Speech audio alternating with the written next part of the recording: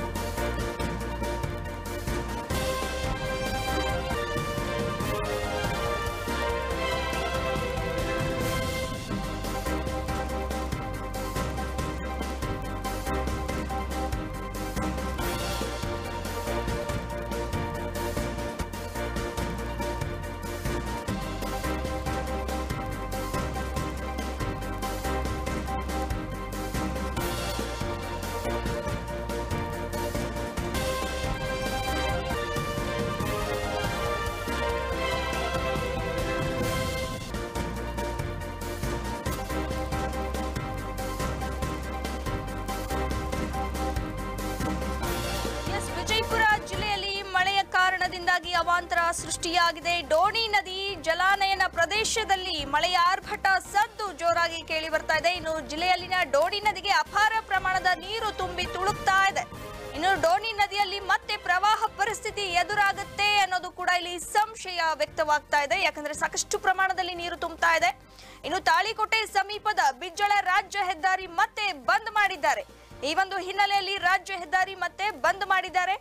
ಇನ್ನು ಹೆಚ್ಚು ಕಡಿಮೆ ಅನಾಹುತಗಳು ಆಗಬಾರದು ಈ ಒಂದು ನಿಟ್ಟಿನಲ್ಲಿ ಆ ಒಂದು ರಾಜ್ಯ ಹೆದ್ದಾರಿ ಸಂಪೂರ್ಣವಾಗಿ ಬಂದ್ ಮಾಡಿದ್ದಾರೆ.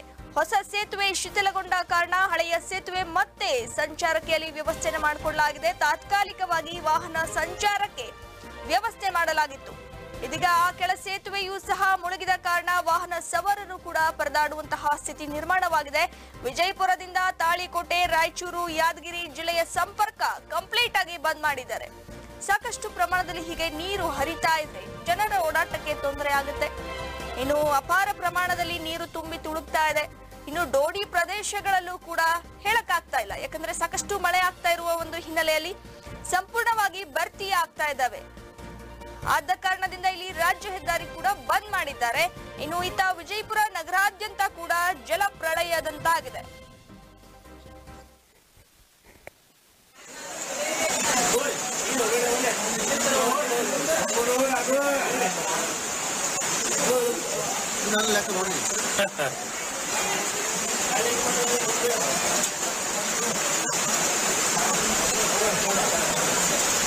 ಗಟ್ರ ಕುಲ್ಲ ಮಾಡ್ಬೇಕಾರೆ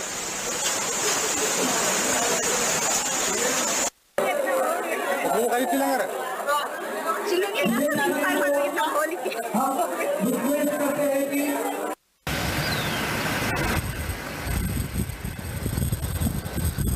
ಗಾಡಿ ಹೊಡ್ಯಾಕತ್ತ ಮ್ಯಾಗ 嗯。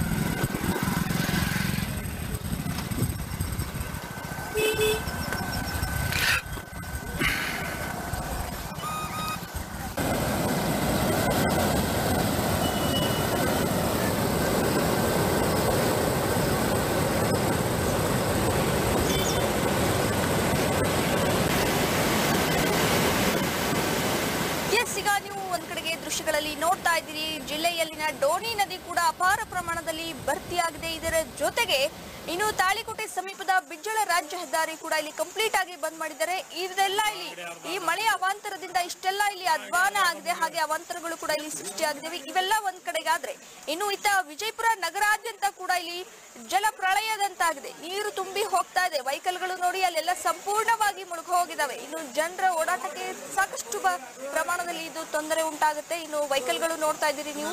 ನೋಡಿ, ಈ ಟೂ ವೀಲರ್ ವೆಹಿಕಲ್ ಕಾಣಿಸ್ತಾ ಇದೆ. ಎರಡು ಚಕ್ರಗಳು ಕಾಣಿಸ್ತಾ ಇಲ್ಲ. ಸಂಪೂರ್ಣವಾಗಿ ಅಲ್ಲಿ ಮುಳುಗಡೆ ಆಗಿದೆ. ಇನ್ನು ಅಲ್ಲಿ ಓಡಾಡುವಂತಹ ಜನರು ಕೂಡ ಅದೇ ನೀರಿನಲ್ಲಿ ಹೋಗ್ತಾ ಇದ್ದಾರೆ. ವಿಜಯಪುರ ನಗರಾದ್ಯಂತ ಕೂಡ ಇದು ಜಲ ಪ್ರಳಯದಂತಾಗಿದೆ. ಈತ ಹೆದ್ದಾರಿ ಕೂಡ ಈಗ ಕಂಪ್ಲೀಟ್ ಆಗಿ ಬಂದ್ ಮಾಡಿದ್ದಾರೆ. ಹೇಗೆ ಮತ್ತೆ ಈಗ ಜನರ ಓಡಾಟಕ್ಕೆ ವ್ಯವಸ್ಥೆ? ಇದು ಒಂದು ಇಲ್ಲಿ ಪ್ರಶ್ನೆ ಆಗ್ತಾ ಇದೆ.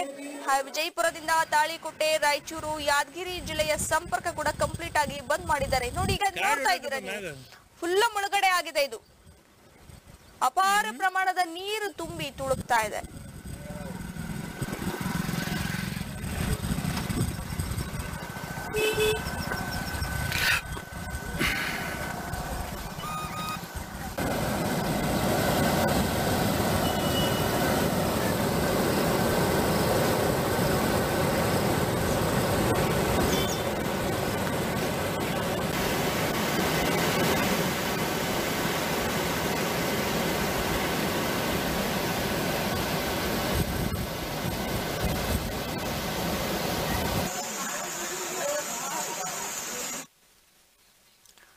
ಎಸ್ ಇನ್ನು ಈ ಕುರಿತಂತೆ ಮಾಹಿತಿಯನ್ನ ನೀಡಲಿಕ್ಕೆ ನಮ್ಮ ಪ್ರತಿನಿಧಿ ಸುರೇಶ್ ಚಿನಗುಂಡಿ ದೂರವಾಣಿ ಸಂಪರ್ಕದಲ್ಲಿದ್ದಾರೆ. ಎಸ್ ಸುರೇಶ್ ಈಗ ತಾಳಿಕೋಟೆ ಸಮೀಪದ ಬಿಜ್ಜಳ ರಾಜ್ಯ ಹೆದ್ದಾರಿ ಕಂಪ್ಲೀಟ್ ಆಗಿ ಬಂದ್ ಮಾಡಿದ್ದಾರೆ. ಇನ್ನು ಬೇರೆ ಮಾರ್ಗ ಏನಾದ್ರೂ ಕಲ್ಪಿಸಿದ್ದಾರಾ?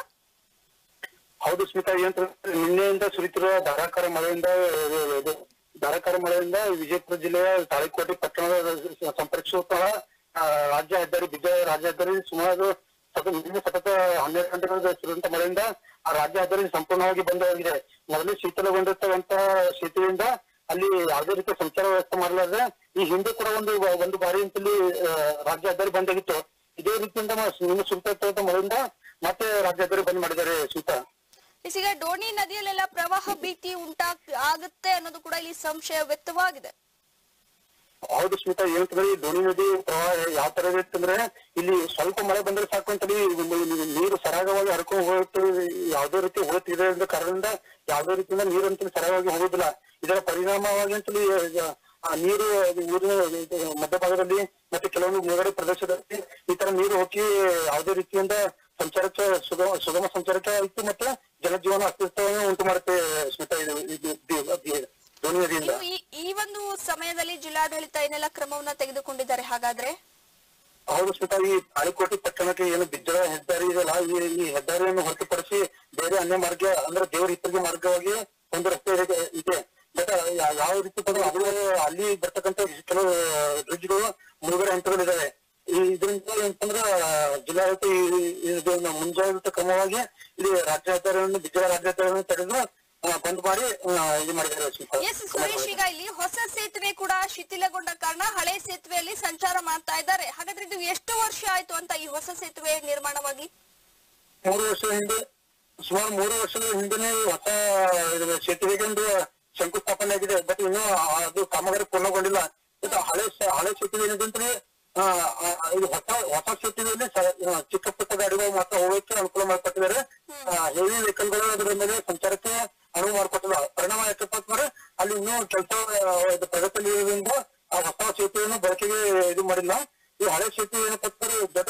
ದೊಡ್ಡ ಕೂಡ ಶೀತಲ ವ್ಯವಸ್ಥೆ ಇದರಿಂದ ಮುಂದೆ ಆಗತಕ್ಕಂತ ಅನಾಹುತ ತಪ್ಪಿಸುವ ಒಂದು ಉದ್ದೇಶದಿಂದ ಜಿಲ್ಲಾಡಳಿತ ಈ ವಿಜಯ ಹೆದ್ದಾರಿಯನ್ನು ತಡೆ ಹಿಡಿದಿದ್ದಾರೆ.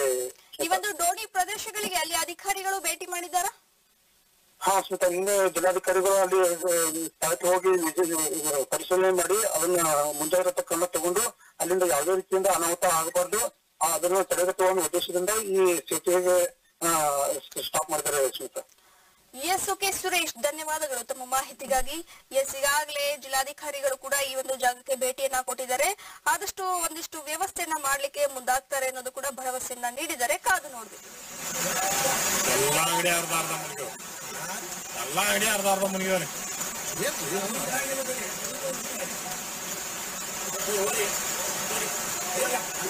ಎಲ್ಲ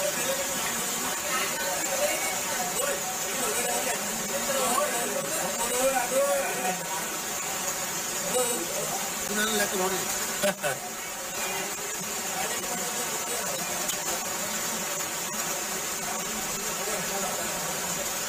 ಗಟ್ರ ಕುಲ್ಲ ಮಾಡ್ಬೇಕಾರೆ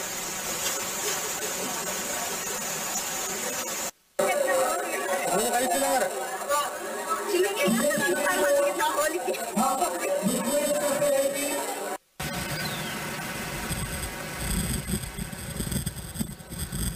ಗಾಡಿ ಹೊಡಿಬೇಕಂತ ಮ್ಯಾಗ Hmm?